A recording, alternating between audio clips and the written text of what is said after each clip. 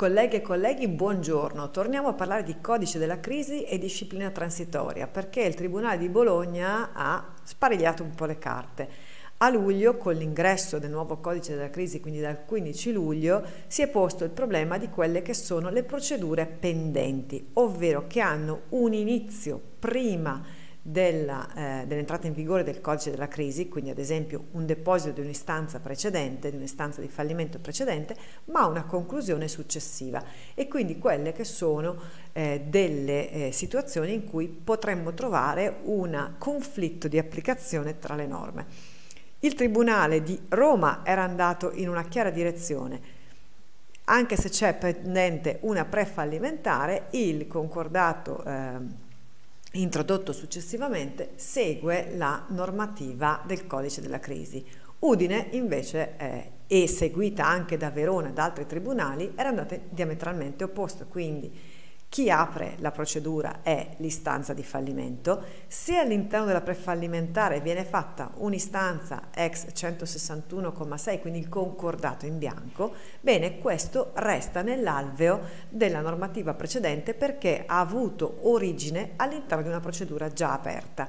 Ebbene, 29 settembre il Tribunale di Bologna spariglia completamente le carte e ritorna motivando decisamente in maniera più articolata e su alcuni passaggi anche molto interessante motiva la posizione rispetto a quella che era la scelta romana. E quindi ritorna dicendo attenzione istanza di fallimento del 12 di luglio apre un procedimento prefallimentare. Istanza della prima settimana di settembre in cui viene richiesto un concordato ex articolo 48 e non 161 è giusto perché secondo l'impostazione di Bologna, in realtà se il concordato fosse parte della procedura prefallimentare non ne avrebbe fatta menzione il legislatore nel 390 primo comma.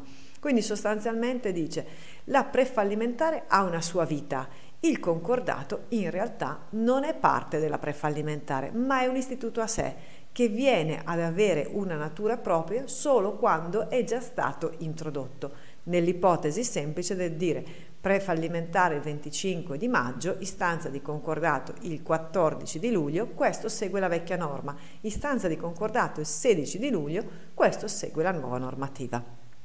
Ecco che si aprono degli scenari complessi e complicati. Perché? Perché la nostra situazione può essere proprio quella di dire noi abbiamo un concordato, questo ad esempio di Bologna, che è stato aperto nel settembre secondo il codice della crisi e quindi seguirà quel binario. Contemporaneamente c'è congelata dietro le spalle una istanza di fallimento. Questa istanza di fallimento potrà avere due sfoghi naturali. Uno, la conclusione perché il concordato viene approvato dai creditori e di conseguenza l'istanza di fallimento va a chiudersi, a morire. Oppure il concordato non viene approvato, l'istanza di fallimento e quindi la prefallimentare, eh, il Tribunale deciderà a questo punto per il fallimento della società. Quindi la nostra situazione qual è? Che potremmo avere una prefallimentare vecchio rito che muore e continua il concordato con il nuovo rito, una prefallimentare che sopravvive e che trasforma un concordato secondo il codice della crisi in un fallimento secondo il vecchio rito, quindi secondo la legge fallimentare. Ma la cosa più anomala potrebbe essere che questo concordato non viene poi eh, eseguito correttamente, quindi vi è un'istanza di fallimento successiva che quindi non si riferisce più alla posizione precedente e quindi il concordato potrebbe poi sfociare in un secondo momento in un fallimento nuovo rito. Ecco, capite che se ogni tribunale decide la posizione in maniera autonoma, noi per i prossimi due o tre mesi siamo in situazioni profondamente limbiche, anche perché se questo concordato non andasse in porto, avremmo magari fra un anno, un anno e mezzo, un fallimento dichiarato con il vecchio rito ma che ha avuto nel frattempo un pezzo di procedura secondo il nuovo codice della crisi.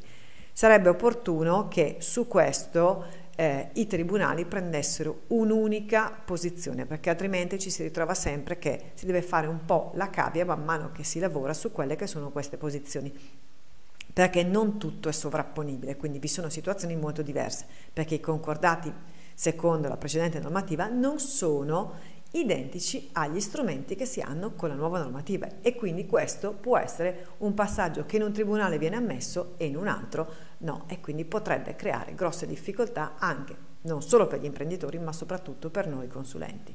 Buon lavoro e buon inizio di autunno e avvicinamento alle dichiarazioni, quindi alle spedizioni telematiche perché ci, appro- eh, ci, ci stiamo apprestando con i 770 per poi andare addirittura con tutto il mondo degli unici. Buon lavoro a tutti, anche e soprattutto ai non concorsualisti.